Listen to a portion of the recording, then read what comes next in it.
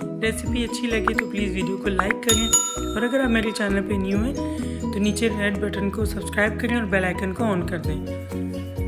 बिस्मिल्लाहिर्रहमानिर्रहीम। एक पॉट में मैंने पानी बॉईल करने रख दिया था चूल्हे पे, मीडियम फ्लेम ऑन करके, डेढ़ से दो लीटर। ये बॉईल हो रहा है, अब इसमें एक चाय का चम्मच नमक शामिल करेंगे। एक खाने का चम्मच कुकिंग ऑयल शामिल कर देंगे। हम एक पैकेट मकरोनी इसमें शामिल करेंगे कि ये बॉईल हो जाए अच्छे से। आठ से दस मिनट के लिए इसको बॉईल करेंगे। पैकेट के पीछे भी इसकी टाइमिंग्स वगैरह लिखी होती हैं। तो मैक्रोनी अब मैं कवर करके बॉईल करूँगी और कुछ मिनट बाद मैं आपको चेक कराऊँगी कि आप देख सकते हैं कि हमारा पानी चेंज हो चुका है कलर इसका और मैक्रोनी हमारी हाफ़ डन हुई है। अभी हम इसको 80 से 90 परसेंट बॉयल करेंगे और ठंडे पानी ये पानी फेंक देंगे, ठीक है ड्रेन करेंगे, इसको ठंडे पानी से वॉश करके साइड पे रख देंगे। अब एक मैंने कुकिंग वॉक चूल्हे पे रखा है, इसमें आधा कप मैं ऑयल शामिल कर रही हूँ और मीडियम फ्लेम ऑन किया अब एक मीडियम साइज़ का प्याज चॉप करके मैं इसमें शामिल कर दूँगी। ये हम लोग मकरोनी की सॉस तैयार कर रहे हैं। अब इसको हम अच्छे से जो है सॉटे कर लेंगे मिक्स कर लें। ठीक है, हम प्याज को तब तक पकाएँगे कि ये थोड़े सॉफ्ट हो जाए और इनका कलर चेंज हो जाए। और आपने अच्छे से इसको मिक्स कर लेना। आप देखें अभी कि प्याज थोड़े सॉफ्ट हो चुके हैं का कलर भी हल्का हल्का चेंज हो गया। अब इस पॉइंट पे मैं एक खाने का चम्मच गार्लिक पेस्ट शामिल करूँगी। अब इसको अच्छे से मिक्स कर लेंगे। तो कुछ सेकंड के लिए इसको भी सॉटे करेंगे प्याज के साथ। अब इस पॉइंट पे हम इसमें 500 ग्राम बोनलेस चिकन शामिल कर देंगे। आधा किलो बोनलेस चिकन है। और स्मॉल क्यूब्स में कट कर लिया था, जिस तरह के मकरोनी का साइज़ है। अब इसको अच्छे से हम मिक्स करेंगे। लाइट गोल्डन ब्राउन तक पकाएँगे। इसमें तकरीबन पाँच से सात मिनट आपको लग जाएँगे चिकन पकाने में। अब आप इसको अच्छे से मिक्स करते रहिएगा कि चिकन आपका नीचे लगे ना, पतीली में। और अब आप देख सकते हैं कि इसमें अभी भी थोड़ा थोड़ा पानी है तो हम इसको मज़ीद कुछ सेकंड पकाएँगे। ये बिल्कुल ड्राई हो चुका है, इसका कलर भी आ गया लाइट ब्राउन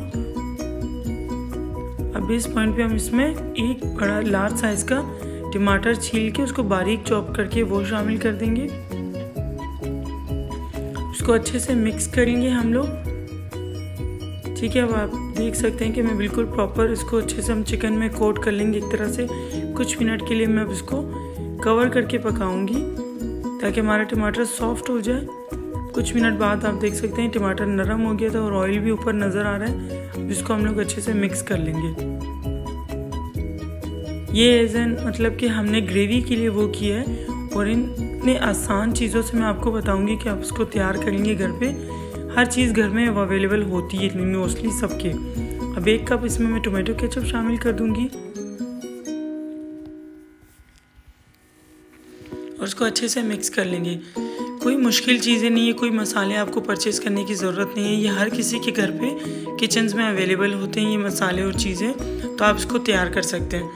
अब मैं आधा कप इसमें पानी शामिल कर दूँगी, ठीक है? ताकि हमारी जो सॉस है वो थोड़ी थिक नॉर्मल टेम्पोस पे आ जाए और उसमें हम लोग मसाले डालें तो वो जले ना। आधा खाने का चम्मच लाल कुटी हुई मिर्च, आधा चाय का चम्मच लाल पीसी मिर्च एक चाय का चम्मच कुटी काली मिर्च शामिल करेंगे। एक चाय का चम्मच चिकन पाउडर और वन टीस्पून सॉल्ट या अपने टेस्ट के हिसाब से भी आप शामिल कर सकते हैं। अब इन सबको हम लोग मिक्स कर लेंगे।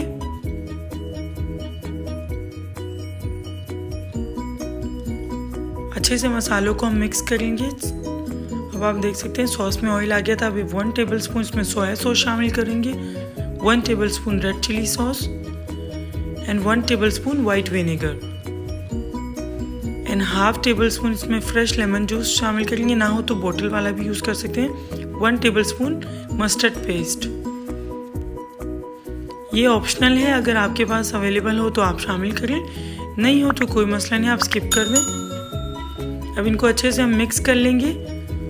और प्लीज़ अगर अगर आप तक मेरे चैनल को आपने सब्सक्राइब नहीं किया तो नीचे रेड बटन आपको दिख रहा होगा, उसको सब्सक्राइब कर दें।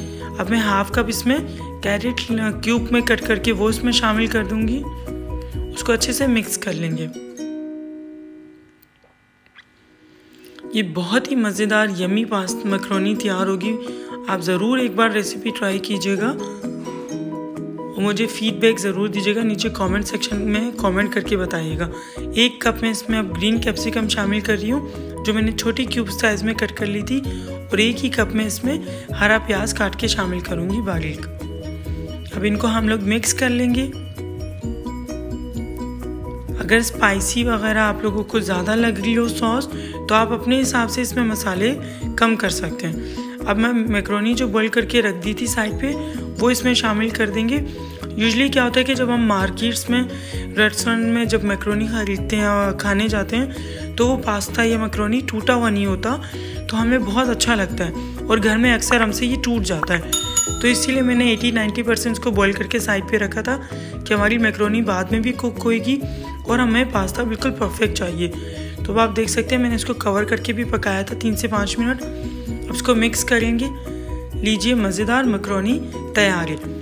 बिल्कुल रेस्टोरेंट स्टाइल में। तो ज़रूर ट्राई कीजिएगा, एक बार अपने फैमिली एंड फ्रेंड्स में शेयर कीजिएगा वीडियोस को और मुझे कमेंट करके बताएँ आपको मेरी वीडियोस कैसी लगती हैं और मुझसे आप मज़ीद क्या रेसिपी बनवाना चाहते हैं, जो आपको मुश्किल लगती हो आप मुझे बताइएगा। मैं आप लोगों के लिए वो रेसिपी बहुत ही आसान तरीक़ों से बनाऊँगी और लेके आऊँगी। तब तक के लिए अपना बहुत सारा ख्याल रखिए मिलते हैं नेक्स्ट वीडियो में। इसको हमने गार्निश किया हरी प्याज और टोमेटो चिली केचप के साथ। और लीजिए मज़ेदार मकरोनी सर्व कीजिए गरम गरम मिलते हैं नेक्स्ट वीडियो में। अल्लाह हाफिज़।